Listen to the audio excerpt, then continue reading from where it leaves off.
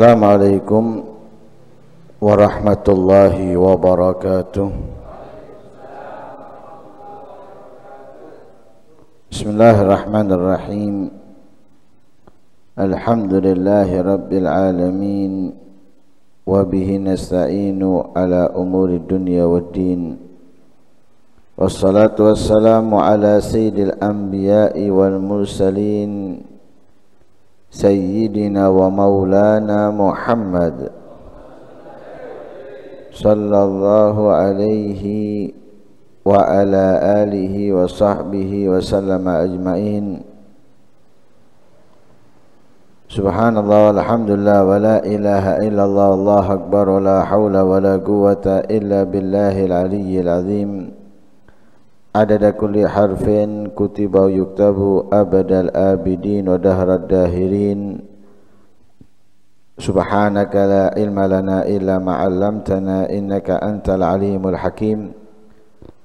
نويت التعلم والتعليم والنفع والانتفاع والمذاكرة والتذكير والإفادة والاستفادة والحث على تمسك بكتاب الله وسنة رسوله والدعاء إلى الهدى والدلالة على الخير. ابتغاء وجه الله ومرضاته وقربه وثوابه من الله تعالى. الفاتح إلى حضرة سيدنا رسول الله محمد بن عبد الله وآبائه وإخوانه من الأنبياء والمرسلين صلوات الله وسلامه عليهم أجمعين وأزواج رسول الله وأهل بيته وذريته وأصحابه والتابعين ومن تبعهم بإحسان إلى يوم الدين. والأرواح جميع الأولياء والصالحين والشهداء والمقربين والعلماء العاملين والفقهاء والمحدثين والمفسرين وأئمة المجتهدين ومقلديهم وجميع مصنف الكتب النافعة خصوصا الروح كتب الإرشاد وغوث الإباد والبلاد الحبيب عبد الله بن علوي بن محمد الحداد وأصولهم وفروعهم ومشايخهم وتلامذتهم والمنتسبين المحبين والمتناجين بهم بالأرواح والدينا ووالديكم وأمواتنا وأمواتكم وأموات المسلمين أن الله يتغشاهم بالرحمة والمغفرة ويسكنهم الجنة ويعيد علينا من بركاتهم وأسرارهم وأنوارهم وعلومهم ونفحاتهم في الدين والدنيا والآخرة الفاتحة.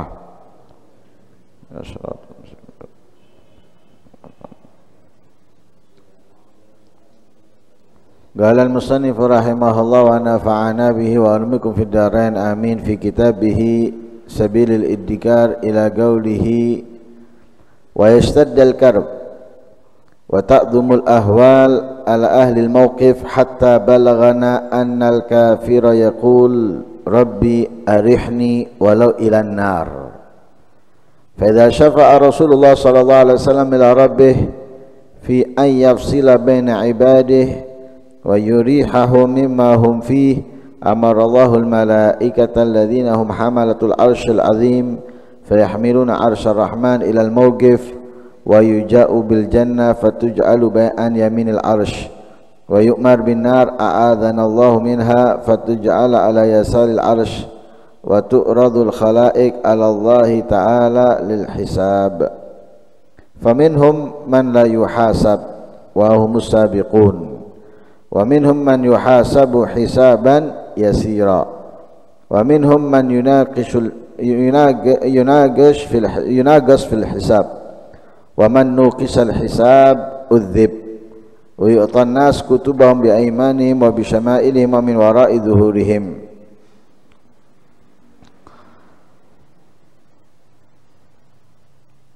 ويشتد الكرب. kesedihan kesusahan semakin sulit semakin besar. Wa ta'dhumul ahwal ala ahli mauqif bencana menjadi besar untuk orang-orang yang berada di mauqif yaitu tempat dikumpulkan semua manusia dari zaman Nabi Adam alaihissalam sampai akhir zaman. Jadi kesusahan, kesedihan, kesedihan semakin dahsyat dan keadaan semakin sulit kepada orang-orang yang ada di mauqif. Bisa kita bayangkan ya. Dari zaman Nabi Adam sampai akhir zaman nanti dikumpulkan oleh Allah di satu tempat. Yang mukminnya dan munafiknya. Yang muslimnya atau kafirnya Semuanya dikumpulkan oleh Allah menjadi satu. Di saat itu keadaan bukan tenang. Bukan bahagia, longgar, enggak. Keadaan semakin sulit. Bencananya semakin besar. Hampir tidak ada ketenangan kebingungan keresahan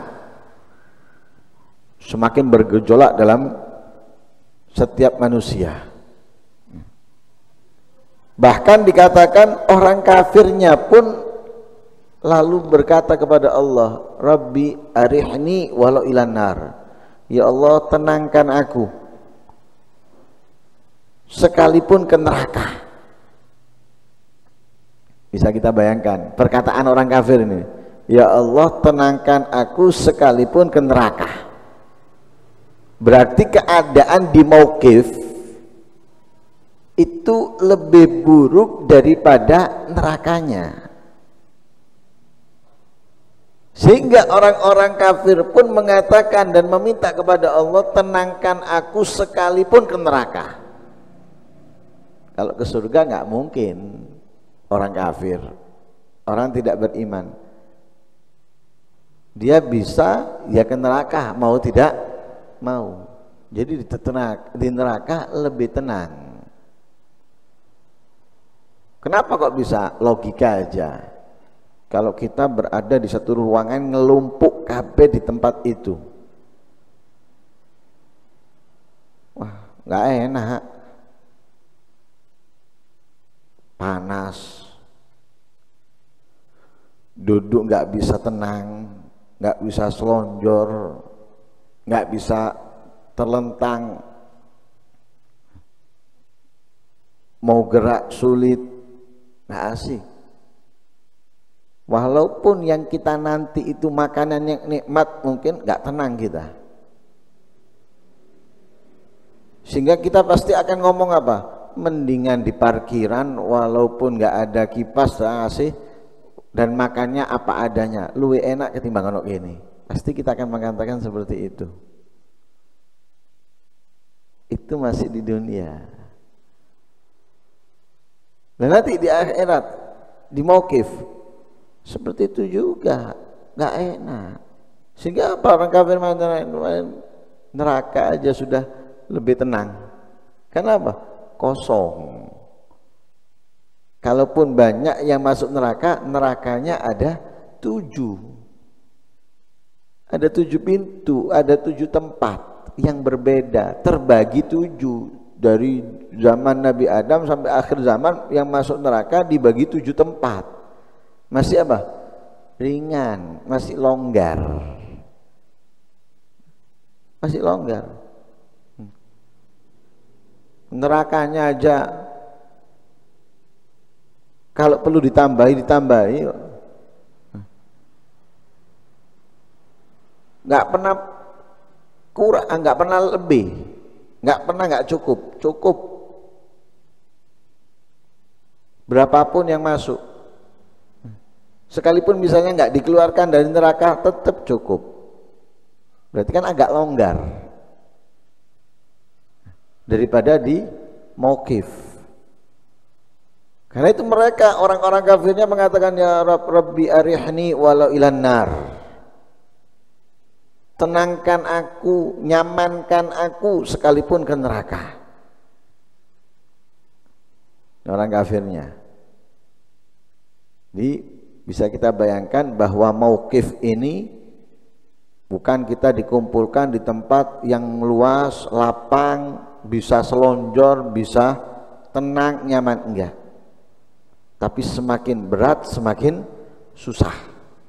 Nah, makanya di beberapa pertemuan yang lalu itu ketika lamanya orang-orang ada di maukif, kesusahannya semakin besar, semakin dahsyat, mereka minta perlindungan untuk mendapatkan keringanan, ketenangan yang dapat menghilangkan kerasan mereka ke Nabi Adam, ke Nabi Nuh, ke Nabi Ibrahim, ke Nabi Musa, ke Nabi Isa sampai kepada Nabi Muhammad. Itu kan apa? Begitu panjang, begitu lamanya mereka berada di mauqif. Semakin bertambah waktu semakin besar kesusahannya semakin gawat karena itu mereka orang kafir pun minta diringankan, dinyamankan, ditenangkan walaupun ke ke neraka. Lalu ketika Rasul Shallallahu Alaihi Wasallam memberikan syafaat memberikan pertolongan kepada Allah Subhanahu Wa Taala untuk memisah antara hambanya dan memberikan ketenangan dari kesusahan yang ada yang diderita mereka Allah memerintahkan malaikat pembawa arus Allah ke Maugif dibawa arusnya Allah ke Maugif surga didatangkan diletakkan di kanannya arsh neraka pun juga seperti itu diletakkan di kirinya arsh nah, di situ semua makhluk dihisap oleh Allah subhanahu wa ta'ala. Sudah seperti itu Nabi memohon kepada Allah untuk memberikan ketenangan, kenyamanan, kelonggaran. Arusnya Allah diperintahkan oleh Allah memerintahkan malaikat untuk membawa arsh dibawa arsh surga diletakkan sebelah kanannya neraka diletakkan sebelah kiri nah, mulai kelonggaran itu terjadi dengan hisap lah orang yang dihisap ini macam-macam. Sehingga ada orang yang tanpa hisap masuk surga tanpa hisap Mudah-mudahan Allah menjadikan kita daripada mereka. Nah, walaupun nggak cukup dengan doa toh ya. Oh, mudah-mudahan Allah masukkan saya tanpa surga tanpa hisap doa toh. Ibadah nggak mau, ketaatan nggak mau. Nanti dengan dalil masing-masing kan dikekuat, dikasih kekuatan yang berbeda untuk ibadah. Ada yang dikasih kekuatan suhul, suhul to tidak dikasih kekuatan ibadah semua orang semuanya sama tergantung keinginannya. Tergantung semangatnya ditumbuhkan di dalam hal apa. Kalau semangatnya ditumbuhkan dalam duniawi ya duniawi toh. Bangun tidur sampai tidur mimpinya ngigonya dunia. Kenapa? Semangatnya diletakkan di dunia. Tapi kalau semangatnya diletakkan di akhirat, ya gelipet di akhirat. Kebaikan, ketaatan, zikir, ibadah, majelis dan yang lain sebagainya. Karena apa? Semangatnya diletakkan di akhirat. Lah ini bisa kalau dia seperti itu terus menerus bangun tidur ketaatan, mau tidur ketaatan, pagi ketaatan, siang ketaatan, sore ketaatan, kebaikan dan yang lain sebagainya ini ada harapan mendapatkan surga, masuk surga tanpa hisab.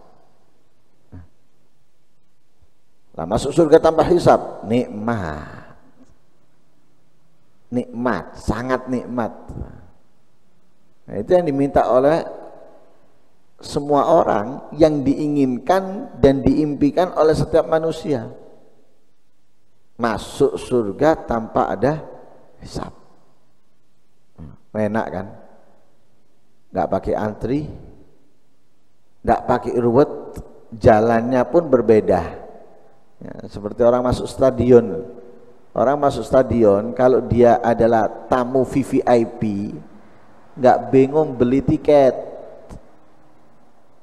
nggak bingung tempat parkir, tidak bingung keluar masuknya stadion, ya, dan tidak bingung antri, tenang dia.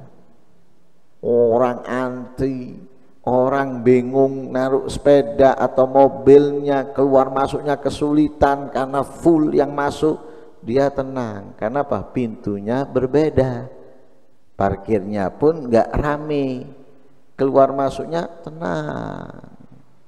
Enak dia. Semua orang bingung desel-deselan nyantai.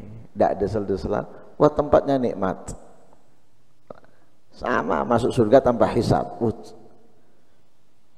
Nggak pakai bingung sudah. Yang lain bingung, ini tidak langsung. Nah itu yang diajarkan oleh para salaf untuk kita memohon kepada Allah setiap setelah salat subuh dan setelah salat maghrib. Wa askinna ma'asabigin a'la faradisil jinan min ghairi sabigati azab wala hisab. Diajarkan oleh para salaf itu memohon kepada Allah setiap setelah sholat subuh dan setelah sholat maghrib. Setelah diawali dengan Allahumma ajinna minan nar, Allahumma ajinna minan nar tujuh kali wa askinna ma'asabiqin a'la faradisil jinan. Ya. Wa askinna ma'asabiqin tempatkan aku bersama pendahulu yaitu para nabi, para rasul, di mana ditempatkan? A'la faradisil jinan. Paling tingginya, paling mulianya surga, yaitu Jannatul Firdaus. Nah. Masuknya, ditempatkannya min ghairi sabigati azab wala hisab. Masuk ditempatkan di surga yang paling mulia, yang paling istimewa bersama para nabi, para rasul tanpa didahului dengan siksaan dan juga tanpa didahului dengan hisab. Doa itu mulia ini. Yang ikuti salaf. Nah, yang ikuti salaf wiritannya. Kalau nggak ngikuti, ya ngono-ngono ikut toh. Ya bagus lah, tidak apa-apa wiritan daripada tidak wiritan.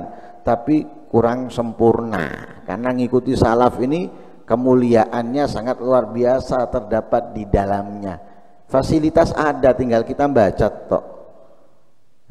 Karena itu biasakan di musola-musola kita masjid-masjid kita itu amalannya salaf. Jangan amalan yang kita nggak pernah ketahuinya lagi mulai biar kok ini siapa sih ngawali? Tidak perlu awakmu. Nah, di sini aja yang jelas sudah diamalkan oleh para salaf. Nah, amalkan. Nah, mulia ini minta kita selalu setelah sholat subuh, setelah sholat maghrib. Tapi jangan.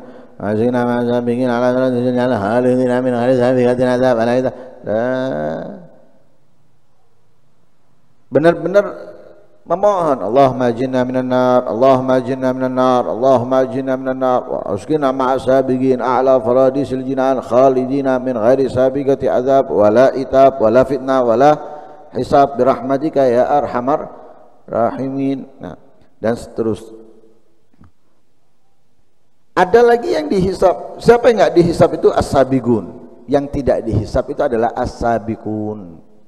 Para nabi para rasul. Nah.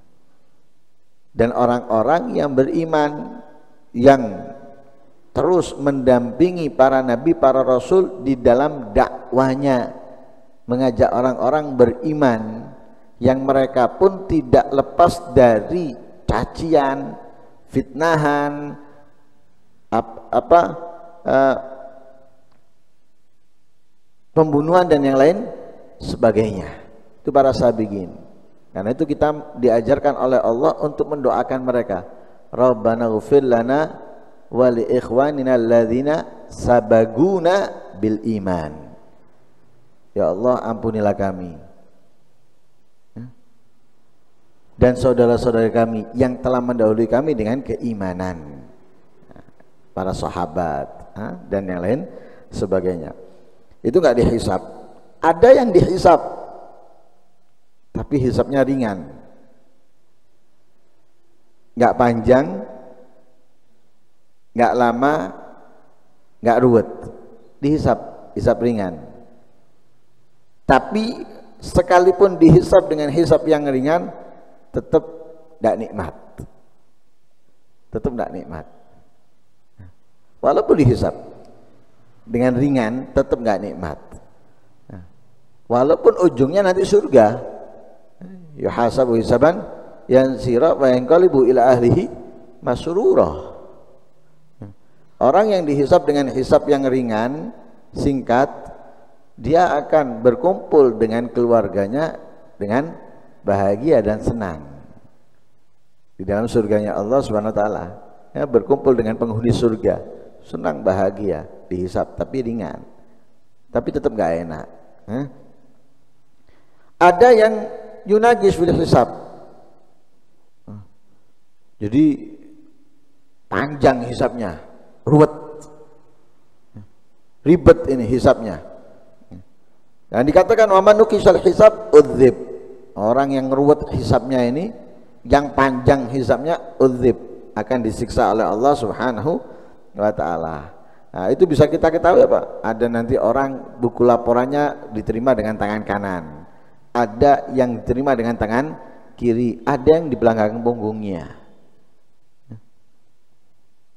Nah itu berbeda, semuanya berbeda keadaannya. Yang lima kanan apa, tangan kanan, yang lima tangan kiri atau yang tangan kiri di belakang punggungnya itu berbeda. Karena itu diajarkan oleh Rasul Sallallahu Alaihi Wasallam seperti yang dikatakan oleh Imamul Ghazali di dalam kitabnya Bidayatul Hidayah uh, doa setiap membasuh anggota badan. Ketika membasuh tangan kita diajarkan doa Allahumma inni as'aluka al-yumna wal baraka wa hasibni hisaban yasira. Tangan kiri Allahumma inni a'udzubika an tu'tiyani kitabi bishimali wa min warai dhahri. Allahumma inni as'aluka an tu'tiyani kitabi biyamini wa hasibni hisaban yasir Allahumma inni a'udzubika an tu'tiyani kitabi bishimali aw min warai dhahri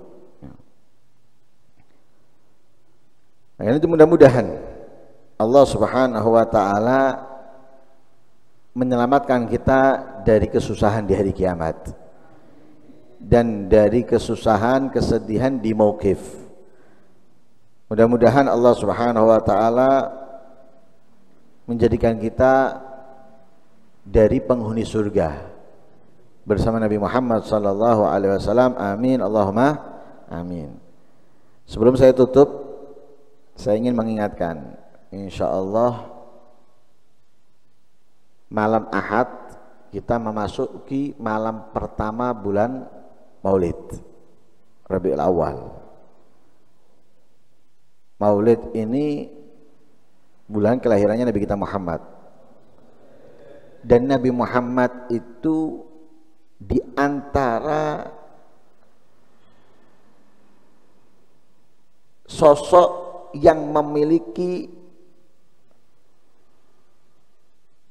sesuatu yang besar di dalam kehidupan kita. Yang tidak seharusnya kita melupakannya. Melupakannya tidak boleh.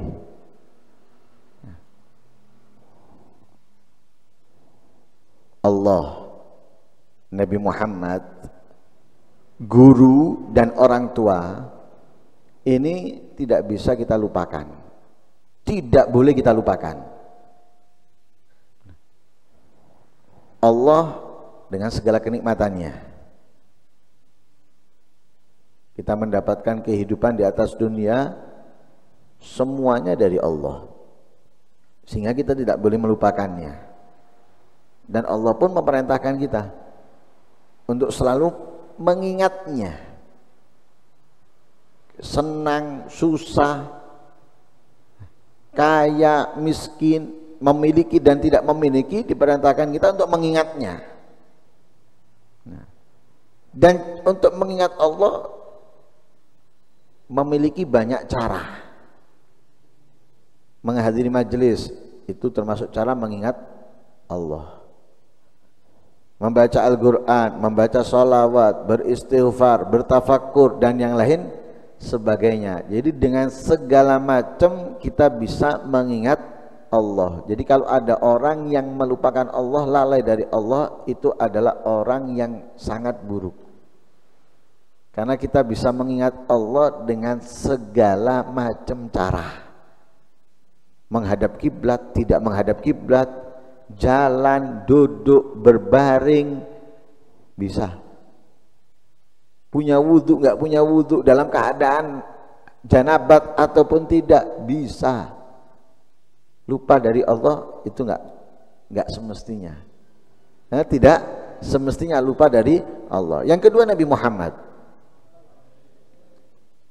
Kita mendapatkan banyak kemuliaan dari Allah jangankan umatnya, yang kafir pun karena Nabi Muhammad. Karena Nabi Muhammad.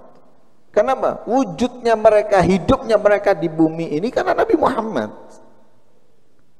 Sehingga kenikmatan yang mereka miliki pun itu juga karena Nabi Muhammad. Apalagi kita umatnya. Yang kafir raja mendapatkan segalanya karena Nabi Muhammad, apalagi kita sebagai umatnya.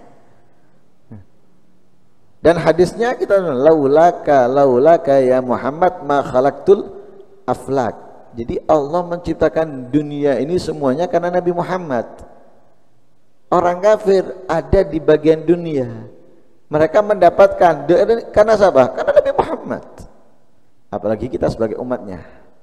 Karena itu nggak bisa kita melupakan Nabi Muhammad. Ketika kita mengingat Nabi Muhammad, mau tidak mau kita mengingat Allah. Makanya nggak boleh lepas. Ingat Nabi Muhammad ini nggak boleh lepas dalam pikiran kita. Sehingga dalam perbuatan kita, saat kita makan tangan kanan, ingat Nabi Muhammad. Kita minum tangan kanan, ingat Nabi Muhammad. Kita masuk masjid, masuk musola dengan kaki kanan, ingat Nabi Muhammad. Keluar kaki kiri, ingat Nabi Muhammad.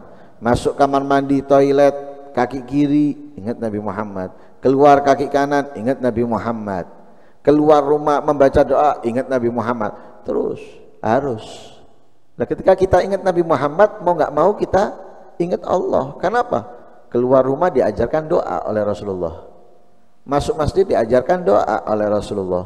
Masuk kamar mandi, toilet diajarkan doa. Makan diajarkan doa. Minum diajarkan doa. Mau nggak mau ingat Allah.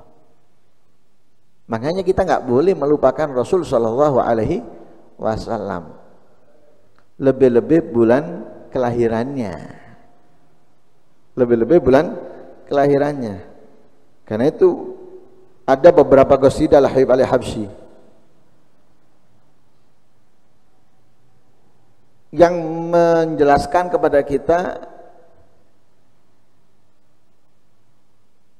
penyambutan bulan Rabiul Awal atau kelahiran Nabi Muhammad sallallahu alaihi wasallam. Bahkan dikatakan oleh beliau ketika masuk bulan Rabiul Awal Beliau mengatakan ya mausimal khair ya syahr safa was salah ya syahr habbat alaina fihi khairir riyah. Itrin nabi khairi khalqillah fil kaun fah ma ahsanuh min itr gattayyab jami'an nawah. Ala madad dahr yanfah bil ashi was sabah ma atyabuh min rih tushfa bihi jami'al jirah. Lisamahul asi amsa min rijalil falah ya syahr gad fad bihi bahral ata was samah asad bihi arwahuna fil unus wal insyirah yudir kasal hana sagih min khair rah artinya belum nyambut. Ini musimnya kebaikan. Bulan yang penuh kebersihan dan kebaikan. Bulan yang menghembus kepada kita di dalamnya sebaik-baiknya angin. Aroma harum Nabi Muhammad di alam semesta menyebar, menyerba. Alangkah bagusnya aroma harum yang dapat mengharumkan semua penjuru, semua alam. Bukan satu hari, dua hari, bukan satu minggu, dua minggu, tapi selama-lamanya alamat dadar aromah wangi harum Nabi Muhammad itu selama-lamanya akan apa? Yanfah bil asyi was sabah. Di waktu pagi di waktu sore bau itu akan keluar. Ma'atyabuh alangkah wanginya daripada aroma yang dapat menyembuhkan semua penyakit tapi yang dapat menciumnya ada orang nggak bisa mencium. Wangi harum daripada Nabi Muhammad sallallahu alaihi wasallam. Nah, jangan diibaratkan minyak yang bisa kita cium gini bukan tapi bau ini adalah amalan yang nempel di dalam diri kita. Kalau kita bisa mencium kemuliaan amalan tersebut, kita lakukan. Nah, ini mencium berarti. Kalau dia tahu tok tapi tidak mengamalkan, nggak mencium, apalagi nggak tahu. Nah, ini kalau dicium oleh orang yang ahli maksiat, bukan orang yang ahli taat, orang yang ahli maksiat menciumnya, ini kemuliaan, ini keistimewaan, dikerjakan, diamalkan, pagi dia ahli maksiat, sore dia akan menjadi orang yang beruntung. Menjadi orang yang istimewa. Menjadi orang yang isti, istimewa. Dalam perkataan yang lain, beliau juga mengatakan itu. Mawaidil khair mabsutah liman bayarid fi syahri fihin nabil mukhtar taha wulid syahril ata wal madad wa inil ladhi yastamid fihi nubuwah badat anwaruha tattagit. Kam min muwaffaq bi hubbihi lin nabi qad sa'id syahid bi syahr min sirin nabi ma syahid. Ya khaira lailah bi khairil wara qad wujid ayatuha qad ma tahsa idza bata'id hidangan kebaikan dihamparkan. Tapi bagi orang yang ingin meraihnya di bulan terdapat di dalamnya Nabi Nabi yang terpilih dilahirkan yaitu Nabi Muhammad. Bulan pemberian. Mana yang ingin mendapatkannya, ingin meraihnya? Karena apa? Kenabian mulai nampak cahayanya atau mulai menyala cahayanya di bulan tersebut. Nabi Muhammad dilahirkan bulan Rabiul Awal. Ketika dilahirkan Nabi Muhammad belum jadi nabi baru diangkat menjadi nabi di usia 40 tahun. Tapi awal mula menyala cahaya kenabian itu di bulan Rabiul Awal di saat dilahirkannya Nabi Muhammad alaihi wasallam. Nah, kan itu berapa banyak orang yang mendapatkan taufik dapat mencintai Nabi Muhammad dia beruntung. Menyaksikan bulan ini dan cahaya Nabi ya dapatkan ya alangkah bagusnya malam ya, yang dilahirkan sebaik-baiknya manusia tanda-tanda kemuliaannya sangat banyak jika kalian ingin menghitungnya. Coba hitung wake kemuliaannya keistimewaannya. Walhasil bulan maulid akan datang tanamkan kerinduan yang sangat mendalam dari hati kita kepada Nabi Muhammad sallallahu alaihi wasallam yang dengannya kita mendapatkan segala kemuliaan keistimewaan dari Allah Subhanahu wa taala. Dan dengan harapan mudah-mudahan belum keluar dari bulan Rabiul Awal kecuali kita sudah melihat Nabi Muhammad walaupun dalam mimpi amin Allahumma amin amin Allahumma amin. Wa sallallahu alaihi wasallam Muhammad nabiyil ummi wasallam alhamdulillahi rabbil alamin